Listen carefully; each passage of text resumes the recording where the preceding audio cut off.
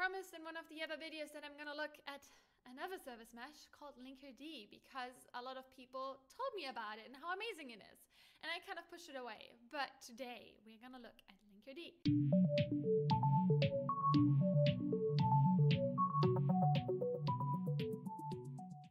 Let's look at service mesh. Now you might be thinking, oh gosh, Anais, not again. Didn't we have so many tutorials already and videos on service mesh? And if you do not like service mesh, then you're probably gonna think, oh, how can I get away with that? Psst.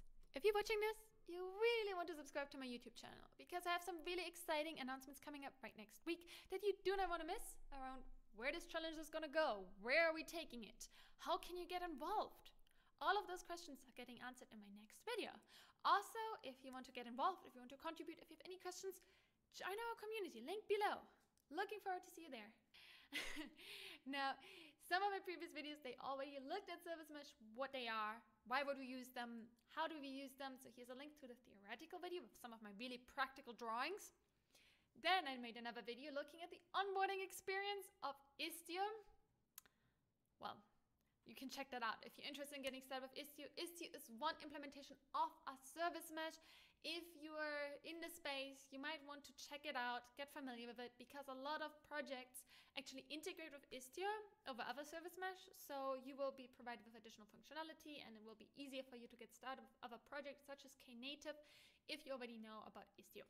Now, like always, you can find all of the resources, everything that I'm using right here, linked below in my public Notion page, where I'm basically providing a brief overview of Linkerd and the process on how you can get started. Now, I've done all of that on my laptop. Now I'm on a different computer, so I'm gonna walk through everything again. I also linked to this video by Saiyam. He provides a really nice overview with really nice drawings, not just practical drawings, really nice drawings on Linkerd, on its different components, how they work, how you can use them. And let's dive right into the documentation. This is the website. It provides you with a nice overview again, like most of those websites do. anyway, so let's just go to the getting started section. We're right here. And we're just gonna follow this process.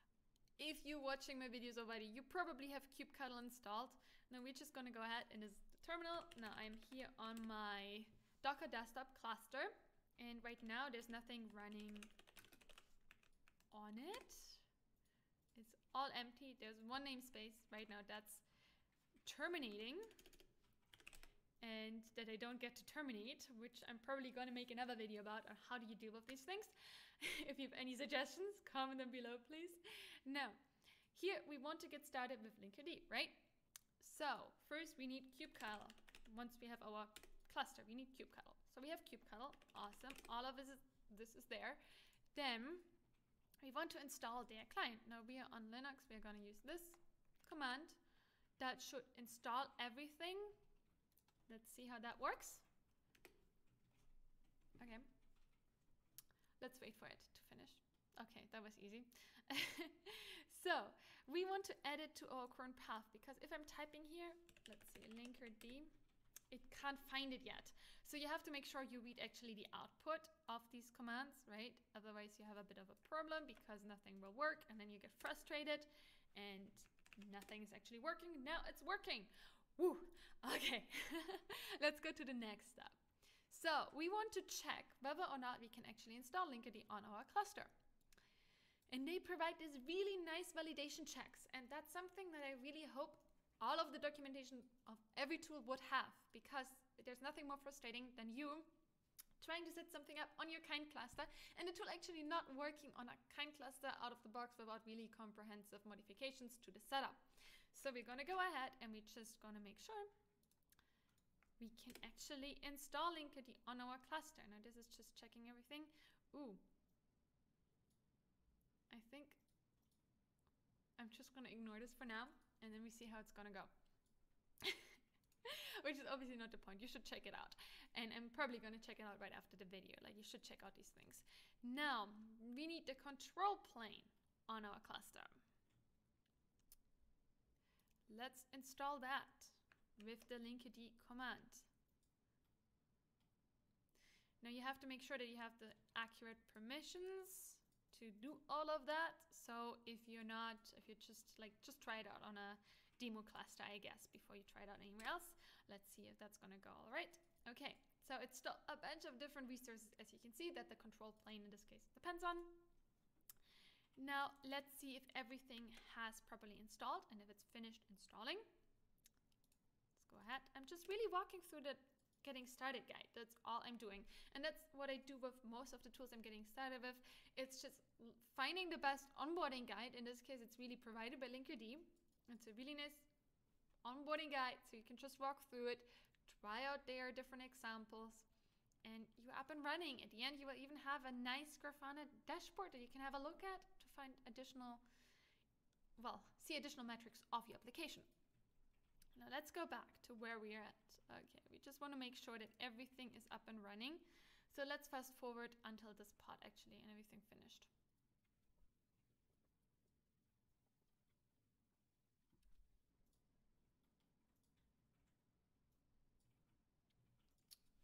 Okay, it just finished. So we can have a look at Okay, there's nothing in the default namespace installed. Every time you install something new, you want to make sure you check out what has been installed, right? Otherwise, this is just a black box. And we don't want to operate black boxes. We want to uh, operate distributed systems where we know what's going on where and yeah, how everything works together. Okay, it just finished. So we can have a look at Okay, there's nothing in the default namespace installed. Every time you install something new, you want to make sure you check out what has been installed, right? Otherwise, this is just a black box and we don't want to operate black boxes. We want to uh, operate distributed systems where we know what's going on where and yeah, how everything works together, right? At least that's the end goal once we have been in this job for several years. So as you can see, here's my faulty arguments namespace that I can't get to delete. So next we have Linkerd. Okay, just a namespace with Linkerd. Let's kubectl get all in namespace linkerd. Let's check that out. Okay. Cool. All the pods are running. Let's hope everything is working like expected. And now we can install additional extensions. Now Linkerd with their, with their client tool, it makes it super easy to install additional um, cluster resources for metrics in this case.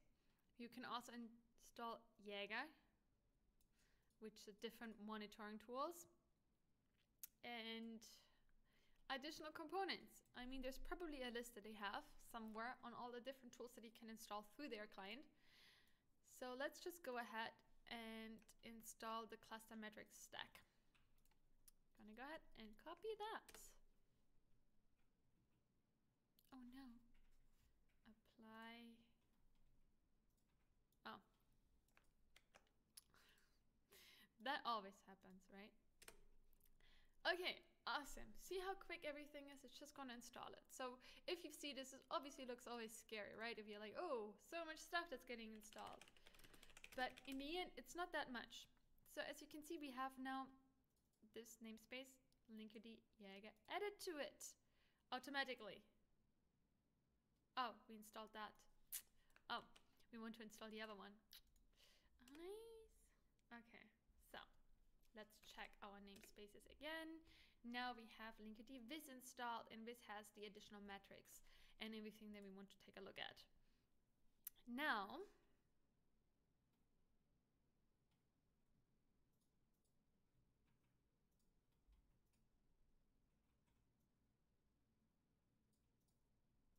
we want to install the metrics dashboard. Let's check that out. But I think we can also just go ahead and, well, let's check first. Let's check first whether everything is running correctly. Oh, not this one.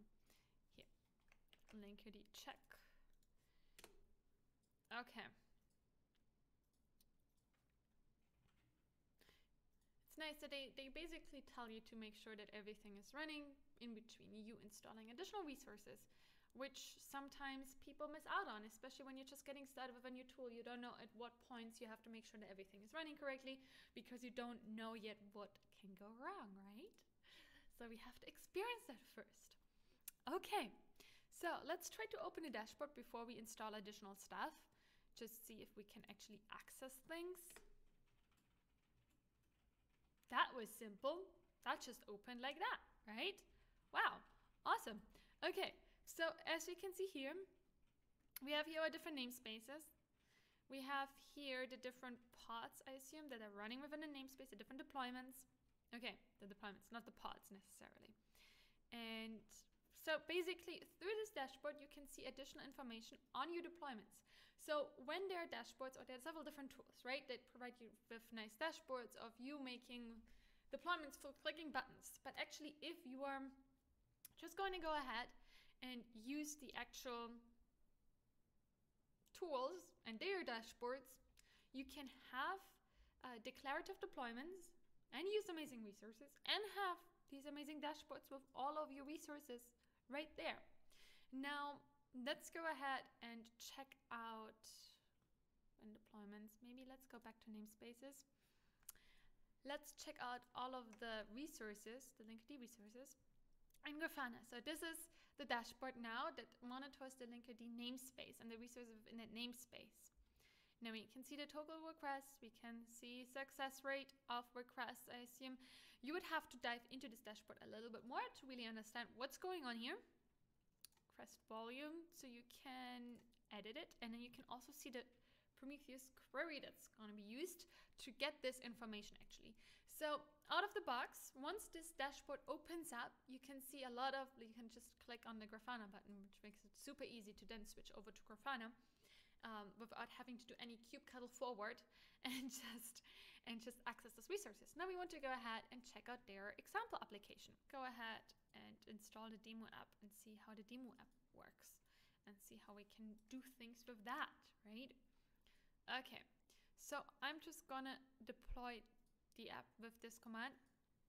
You can check out their application, but you could also go ahead and I detailed here in my Notion page how you can just go ahead and install your existing application. So for example, I have here my React application and here is just basically a simple Helm install and then it's a similar process. We're gonna get there right? it's a similar process. So that up and paste this command to install the application. Awesome. So this obviously created a bunch of different services, different deployments of parts of the application. So now we want to use the application as well. So we're gonna just port forward. get, do we have the namespace? Yeah. So we have our emoji voting app namespace. You're gonna port forward it so we can access it on localhost 8080. And look, here's our beautiful, beautiful application. Now you can go ahead, click at one and view leaderboard vote on my favorite. How do I vote? Oh no, this one doesn't work. Okay, so as you can see, you can click around here and, ooh, just vote for different emojis, I guess. It's the first time I see this app, but it's a really funny app. then we're gonna go ahead and this is the magic command, okay? So with this command, you tell Linkerd to monitor this, this application, the deployments of this application. And you can do that with pretty much any other deployment in this case. You just inject Linkerd into it, basically. You just put the information that Linkerd needs to have within the deployment in it to be able to access it, access metrics and information, everything, and use it, basically. So we're gonna go ahead and do exactly that. So we're just gonna open up another command line terminal. Okay. Command not found. Again, I'm gonna keep forgetting this for eternity. And that's why you want to automate things, because humans are terrible in remembering things. At least I am. So now, linkerd check proxy. Let's let's do that. To verify that everything has actually worked.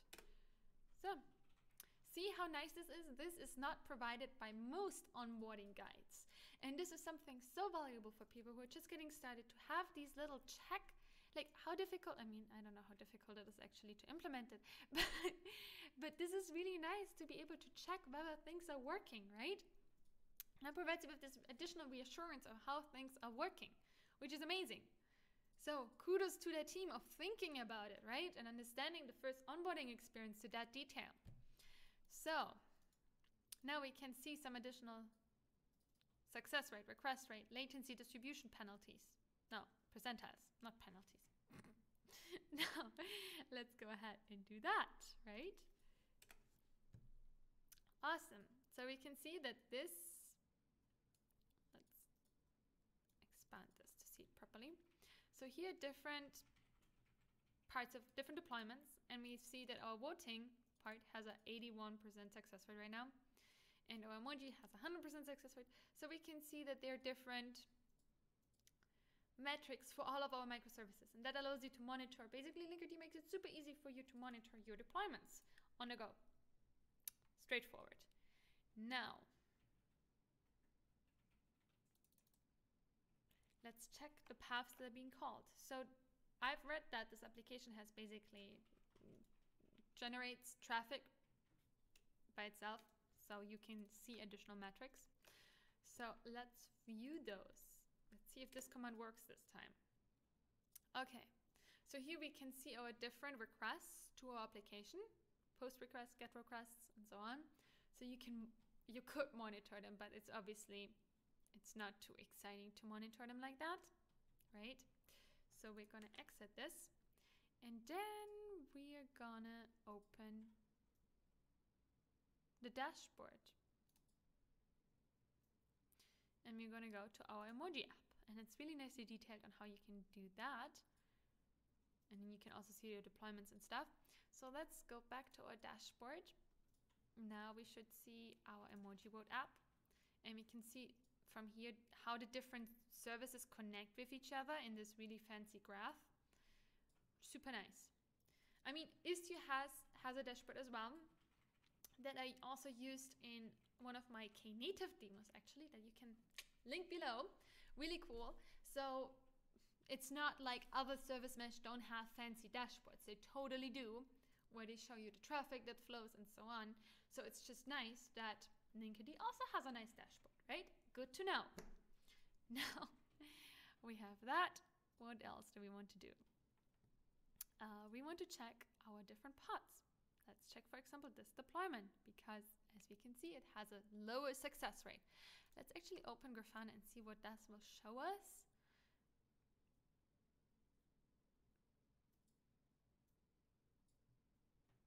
and it will obviously take some time to understand the different the different um, panels within the dashboard but we can have a look at this pod specifically and we can see the service that is actually part of it that is being that is down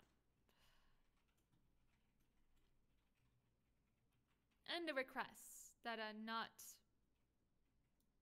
vote for donut does not work success rate zero so we can see here which parts of the application being called and which errors do they cause right? So this helps you, these kind of dashboards help you to then debug your application, which is super, super nice and fancy to use and easy to use. Uh, at least Linkerd makes it super easy to use. So we explored all of this. Awesome. What can you do next? Well, I went next to explore some of the other features. So you can have a look at all of that. I went to traffic split because I love fancy deployments and I like canary deployments. We will have one of the next videos on different deployment strategies and how they are used. But you can basically have a look at all those different parts. They have really nice, again, tutorials on how you can use, for example, canary deployments. In this case, they use Flagger. You could also use Argo rollouts or another deployment strategy. They just, their documentation provides an onboarding experience of how you can do it with Flagger. So all of that is pretty cool. Now, I hope this gives you a nice overview of Linkerd, their user experience, and why and how you can get started with it. I hope to see you in one of my next videos. Like and subscribe to my channel. Link to the community below. Have a lovely day. Bye bye.